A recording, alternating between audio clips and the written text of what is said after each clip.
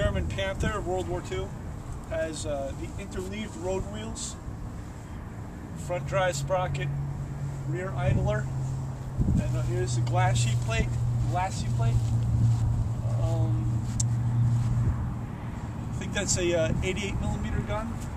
Um, sloped armor. And if you come around this way,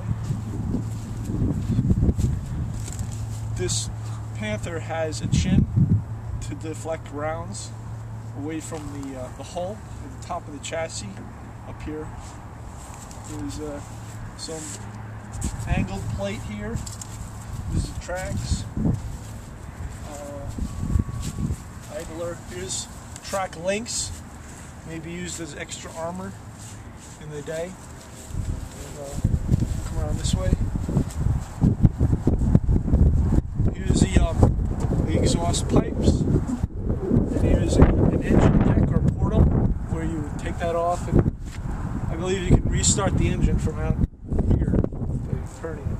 And, uh, so you'll see uh, more angled. There. There's a vulture in the air again. But I don't know if you can catch him on the camera.